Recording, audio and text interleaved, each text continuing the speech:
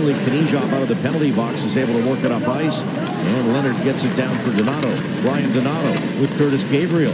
Donato on his backhand. They score!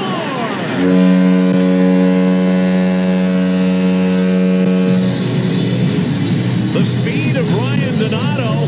Jonathan Quick couldn't get back across. And it's 2-1 Sharks.